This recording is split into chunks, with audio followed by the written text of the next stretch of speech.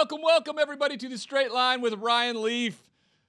Friday before the big weekend's games. No college football. Army Navy's going to kick on Saturday, and then it's all about the NFL, all the way up until bowl games start and the college football playoff begins. Started last night in Pittsburgh, where I got the opportunity to call this game with Ian Eagle. Um, going into it, there wasn't a lot of hope that there was going to be a lot of points scored in this game. First off, the total in this game was 30. We went with the under probably should have known that it was the most heavily bet under in I think the history it seems like. Um, and uh, but every stat you looked at, if you if you looked at the uh, you know the analytics of it all, you look at the Patriots. Their defense had only been given up 8.6 yard or 8.6 points a game, where the offense, on the other hand, were only putting up 4.3 points a game over the last three games. So you didn't expect a lot. You had the backup quarterback and Mitchell Trubisky getting the start. A ton of injuries on the defensive side of the football for the Pittsburgh Steelers. I thought there was a real chance that the Steelers win this game six to three. I did not believe Mitchell Trubisky was a six and a half point favorite in this game, so we went Patriots plus the points, and we got what we what we were looking for. You know, we got the uh, you know we got the, the Bailey Zappe that that we were promised. Uh, the guy showed up, and he did it with a an offense with really no skill position players. DeVante Parker was a last minute scratch, um, kind of a healthy scratch, what we thought. Turns out there was some injury issues that we didn't hear about necessarily. Talked to Bill O'Brien before the game, uh, and he said it was an injury based decision. Therefore, Juju Smith Schuster was going to have to step up and have a big game. He did on the opening drive. Bailey Zappe was special in the first half. They went up and down the field, and he made maybe two of the best throws I've seen of a quarterback make this year to Hunter Henry uh, for touchdowns. One on the back of the end zone, he layered it right over the top of Minkah Fitzpatrick, and then a little bit later, he beat uh, um, Kazee, the safety, in a cover two look, who took maybe just a slightly uh, bad angle, and literally it was a finger nail above it, and Henry makes a great catch. It was 21 to three, I think, or maybe 21 to 10 at halftime, uh, which hit the over for the game. 31 points scored in the uh, in the first half. Well, second half was much different. The Patriots got shut out. They didn't throw as much. They kind of went into protection mode, and the Steelers uh, clawed their way back in. They got a touchdown and a two-point conversion to cut it to 21 to 18. They also got a big interception, and maybe one of the biggest plays of the entire game was Zeke Elliott running down Mykal Walker, who intercepted the pass and tackling him before his uh, before he could take it for a pick six because the Steelers did not score a point then on that drive. They went forward on fourth down when kicking a field goal would have brought them within one possession. Instead, they go forward on fourth down and get stopped. Now they get the ball back uh, pretty quickly on a on a blocked punt, and that's where they get the touchdown and the two point conversion. And then from that point on, nothing else happened. They punted it back and forth. Pittsburgh made some last ditch efforts going forward on fourth and two and deciding to throw a uh, you know a a a bomb essentially to Diontae Johnson, where they hadn't done that all game long. They hadn't taken shots all game long. They brought the house, don't get me wrong, but they still had double coverage on it. And George Pickens was uh, not happy about any of it. It wouldn't surprise me if we hear some stuff this week because the body language from him was poor. Steelers veterans, Minkah Fitzpatrick in the locker room after the game, very upset with the way the guys are playing. Mike Tomlin talks about the standard is the standard. Well, the standard right now is you are the first team to lose to two two win teams this far into the season uh, at home over the last two weeks. Um, they are defunct on offense. You know the the Matt Canada firing gave them a little excitement. And then you lose your quarterback.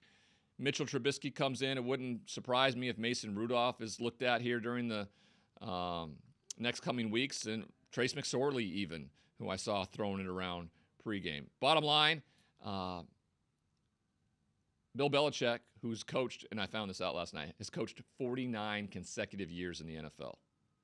I, it, he is he has a longer coaching career in the NFL than I am old. Okay, 49 years he's been doing it, and he and this defense just continue to find ways. And offensively, Bill O'Brien put a game plan together. Without DeVante Parker, Juju Smith Schuster stepped up, and then the tight ends, right? You needed big plays. Hunter Henry did that. And then Ezekiel he ran the ball well, but he what he did even better for um, Bailey Zappe was was catch the ball out of the backfield. He started the scoring by catching the opening drive touchdown uh, to go up seven nothing, and the Patriots get to three wins, and the Steelers fall back now to seven and six outside the playoff window. Now they're going to have every opportunity. They take on uh, the Bengals and, or I think they take on, I think they take on the Bengals and the uh, Colts over the next two weeks.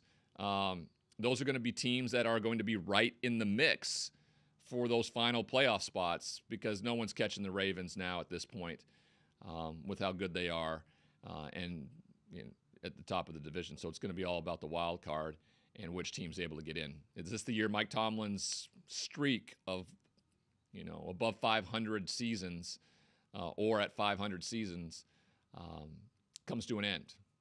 We'll see down the stretch here with the Pittsburgh Steelers. Uh, New England Patriots fans were a little upset with the win because they want to be as uh, high in the draft process to maybe go get the quarterback. Got a chance to talk to Mac Jones before the game a little bit. He seemed upbeat. His coaches talked about how he's had a good attitude around it. Sometimes you need to need to see it from a different place. That's always difficult when you're the starting quarterback, especially when you wear that C on your chest as captain of the team as well.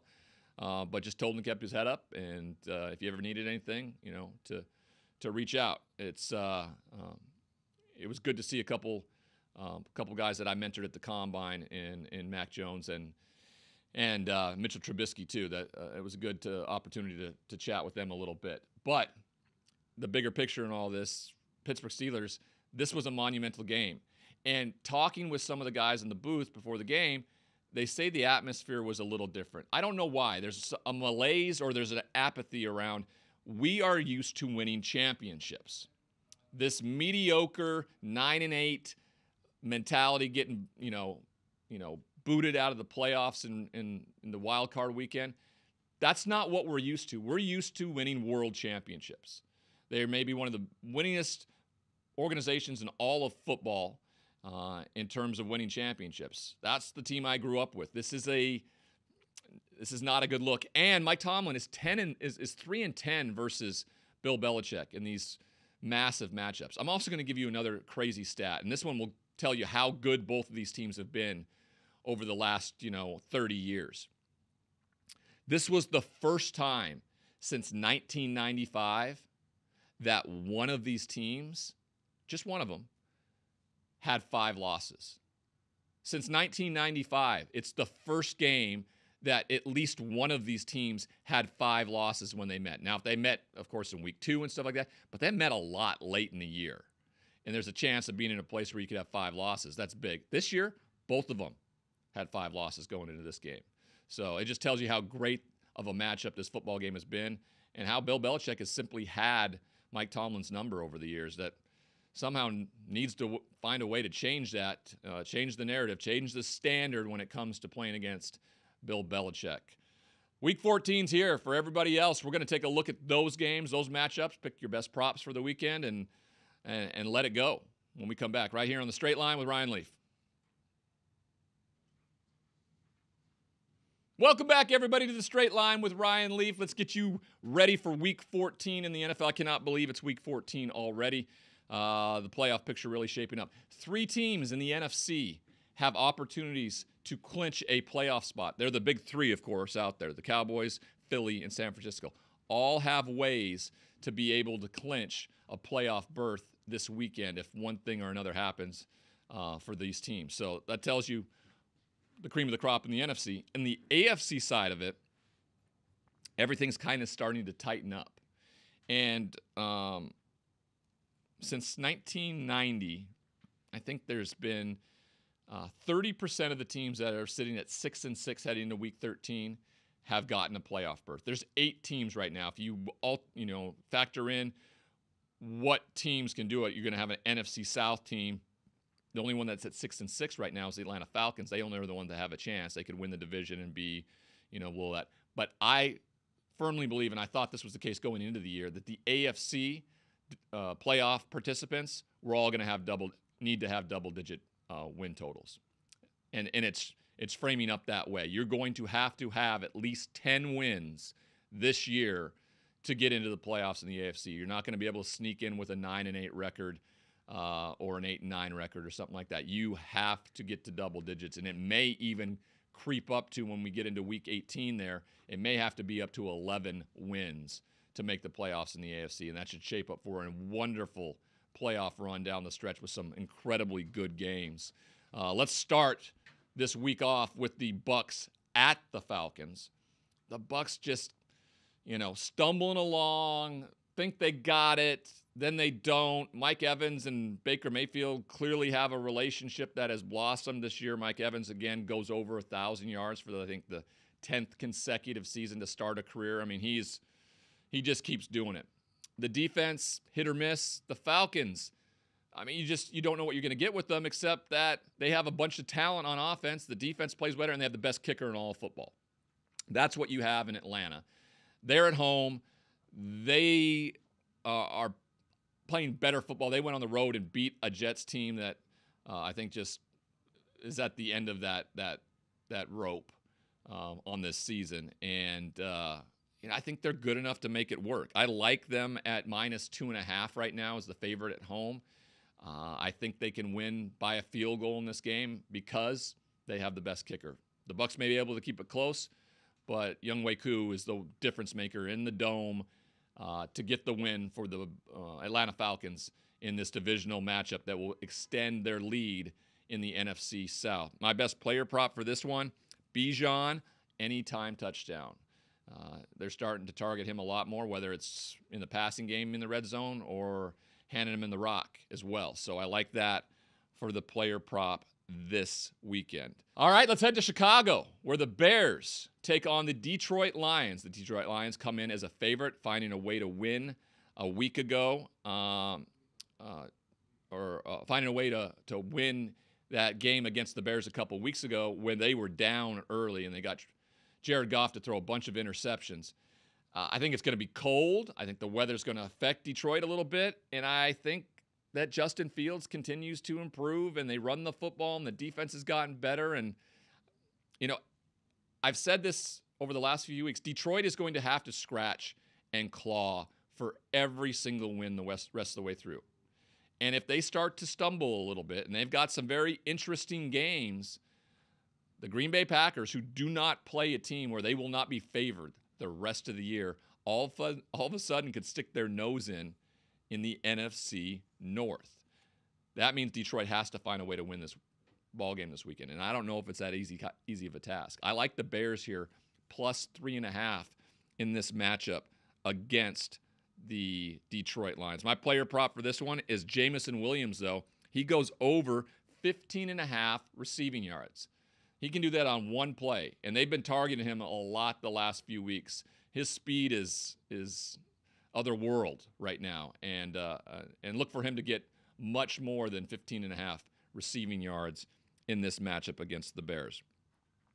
The Indianapolis Colts go to Cincinnati. The Colts now are sitting in a very good position to go to the playoffs. Gardner Minshew and Minshew Mania continues to uh, impress. They don't have Jonathan Taylor. Zach Moss steps up.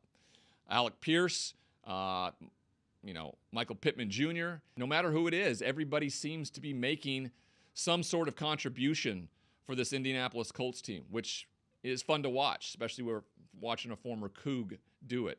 Now, Jake Browning and Gardner Minshew in 2019 battled in an Apple Cup that was a very important one.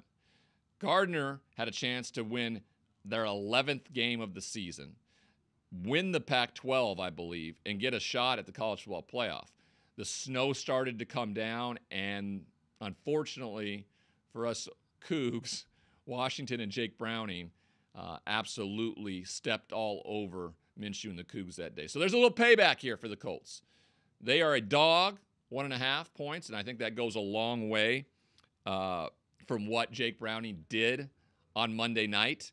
Um, it's still still incredibly impressive.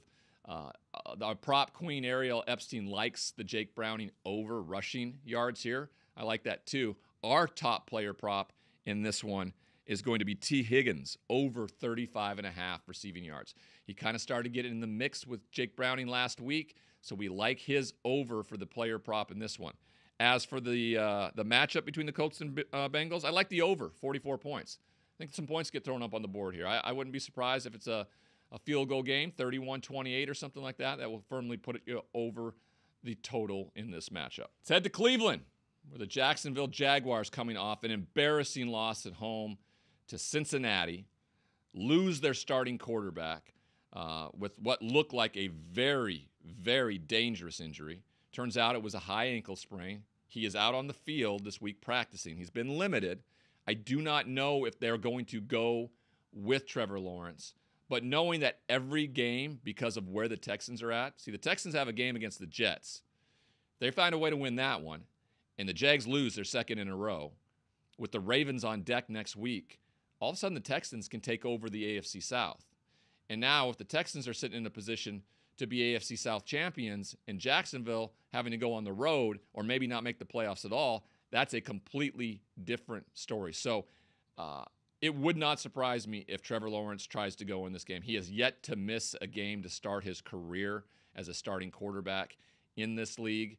They go to Cleveland, who has an incredible defense. The total on this is 32 and a half. That's low.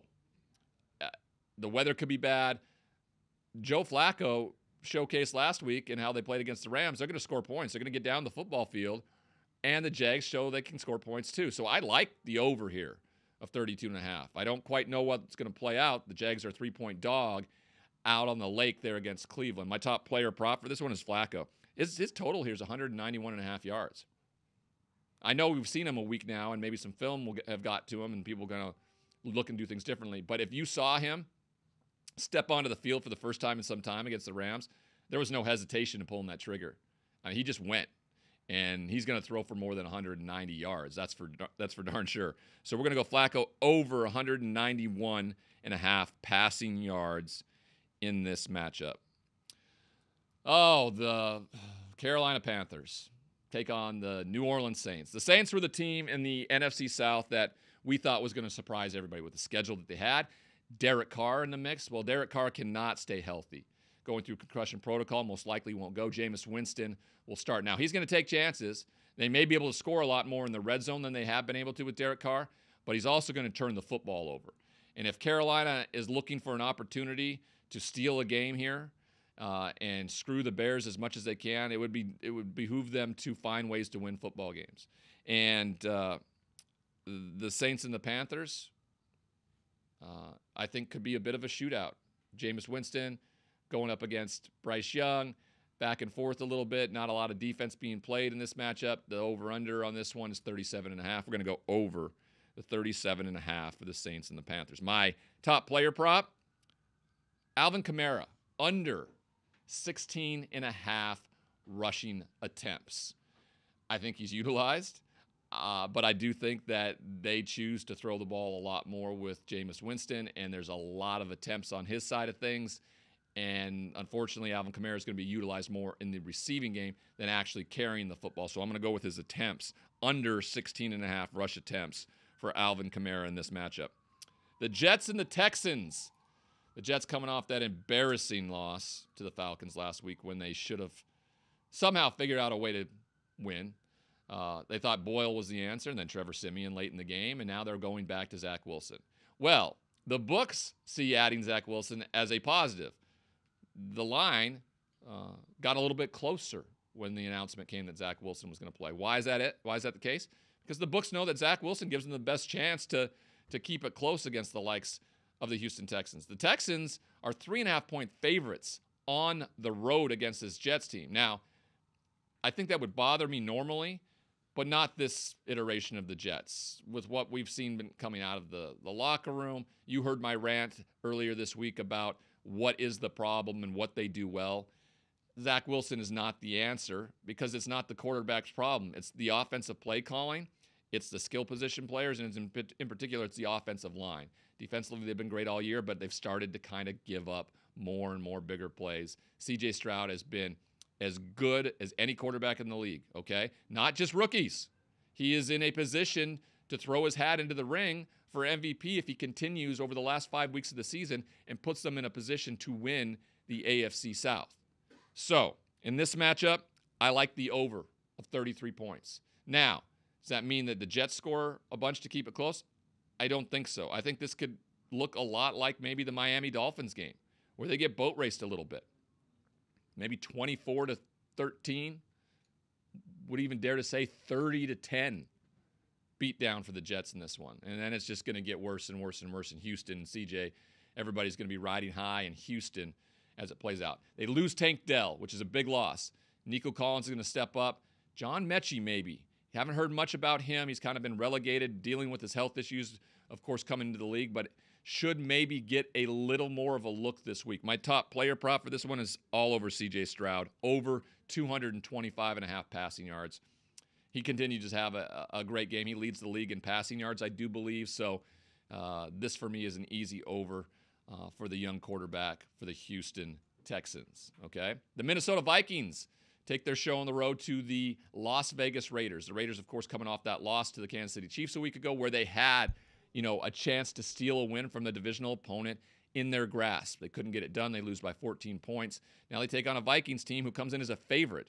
Little surprised. Josh Dobbs is going to go, but Justin Jefferson is back, it looks like. And we're going to ride him all weekend in this game, especially when I saw what his receiving yards over under was. But we're going Raiders plus the three here. At home, defense is playing much better. Offense still kind of stumbling along, but kind of finding their footing a little bit. You know, Antonio Pierce is the is the shine off a little bit. No, I think they keep keep moving forward, keep fighting for. He's fighting for a job to be the the the go from the interim head coach to the head coach of this Las Vegas Raiders team. So we're going to go Raiders plus the three. My top player prop for this one is Justin Jefferson in his return over 65 and a half receiving yards uh, in the uh, hookup with Josh Dobbs.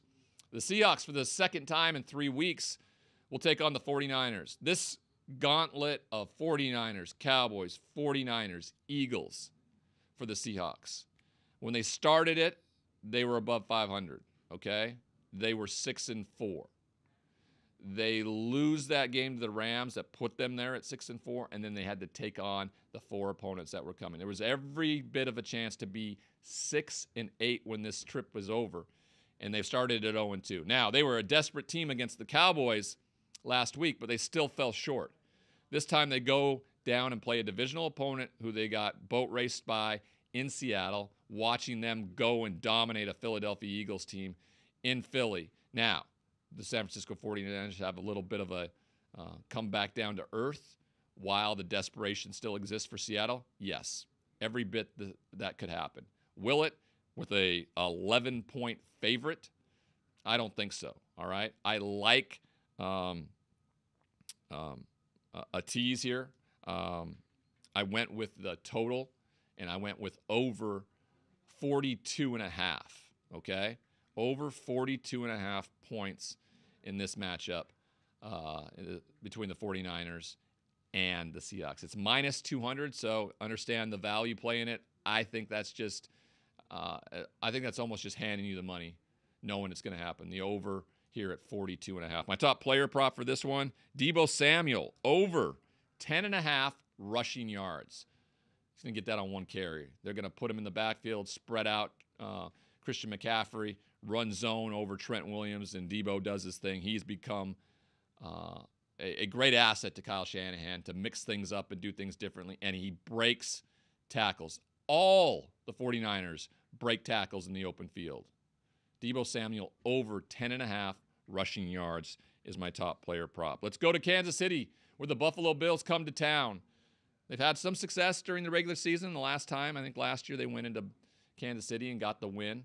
Of course, uh, some news broke this week around a speech that Sean McDermott gave to the Buffalo Bills, I think back in 2019 around the 9 11 scenario. I, I haven't I haven't dived too deep into it because I just don't really want to, but that's a distraction. The Chiefs coming off a loss uh, against the Green Bay Packers uh, on the road. They're trying to find their footing, but I was looking at something, and you have to look at conference record. The Chiefs are one game behind everybody who's above them. One game. They're six and one in conference, though. So if they find that's almost a half a game because of it. If they find a way to win against Buffalo this week and stay within one game and ultimately have a tie with a bunch of the other teams at the top, that conference record is going to be a big difference. And then all of a sudden we're talking about it being the Kansas City Chiefs playoff invita- invitational again to Arrowhead. This is their opportunity.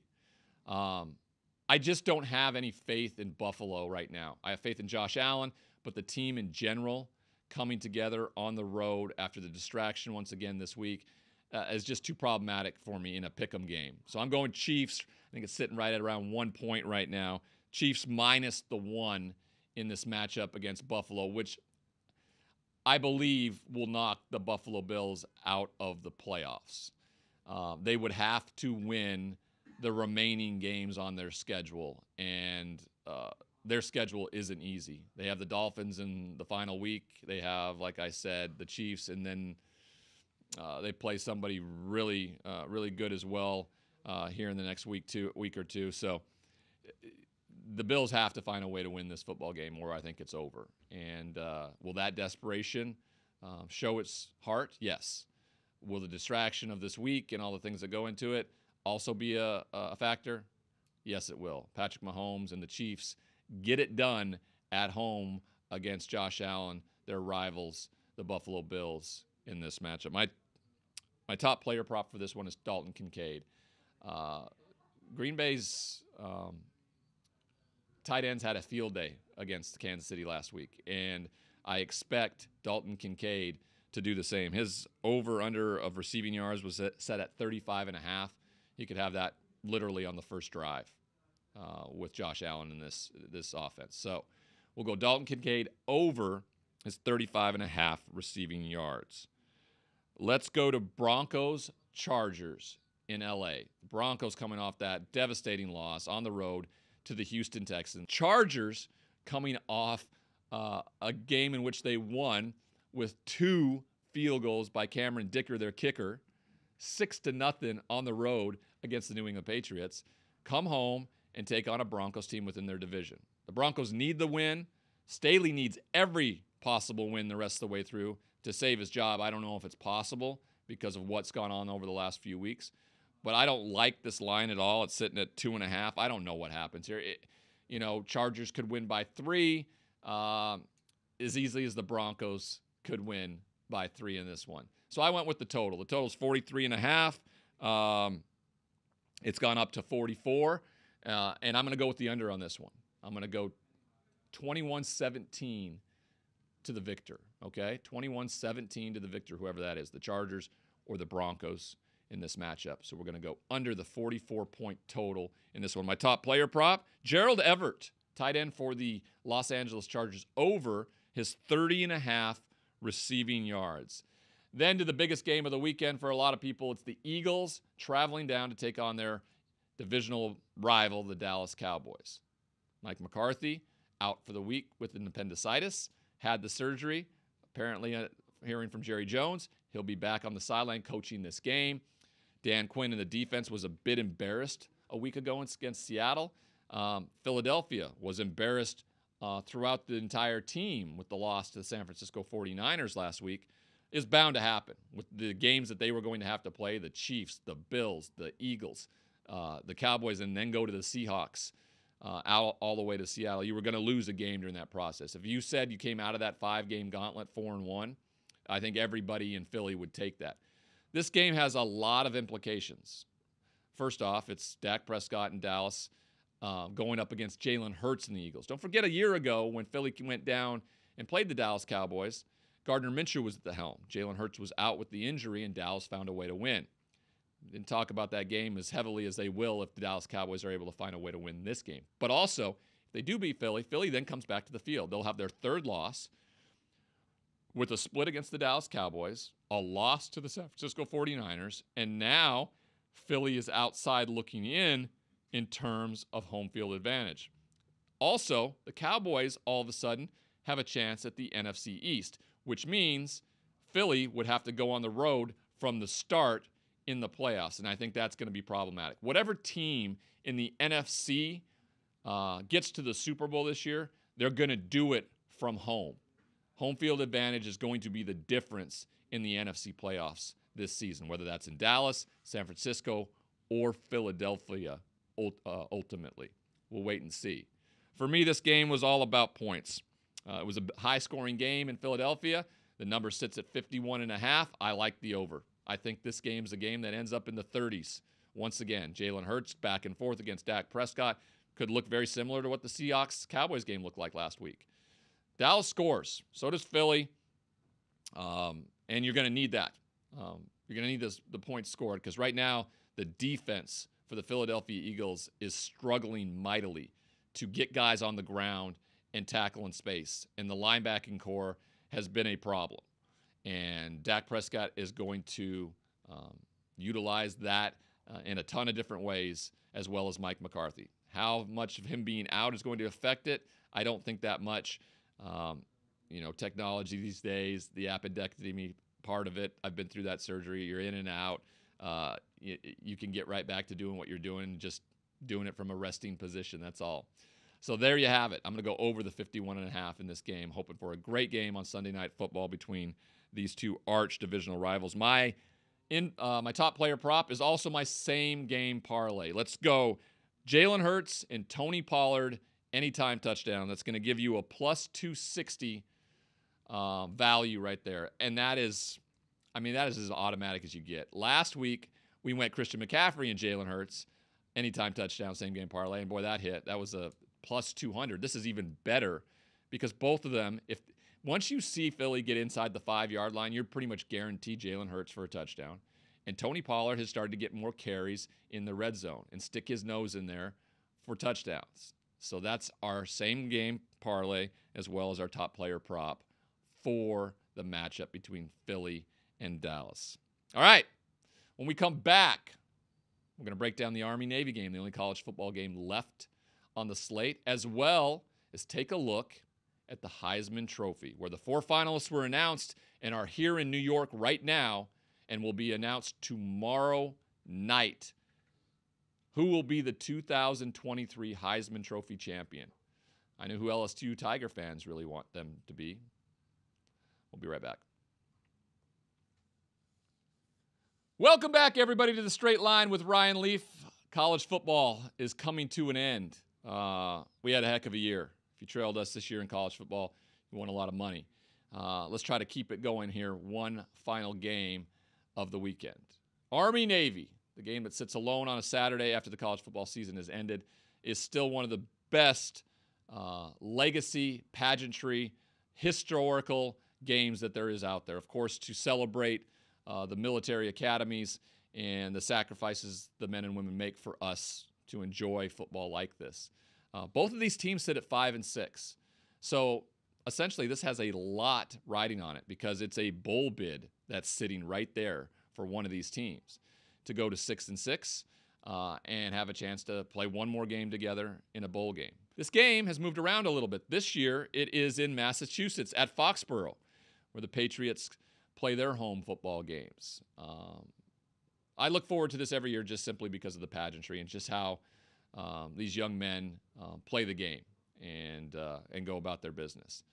Uh, both of them run a very similar offense. You're going to see a lot of running, physical, uh, defensive football, um, and it's almost a flip of the coin a lot of times. But for me, it it it it sits in my family's history uh, in the military branches, and my father serving two tours in Vietnam as a Army grunt uh, keeps me in a very very uh, focused category when it comes to picking this game. You know, sometimes you got to go with the analytics side of things. Sometimes you got to go with loyalty and family and what it means. And just like anybody who's a part of each academy, Army beats Navy in this one.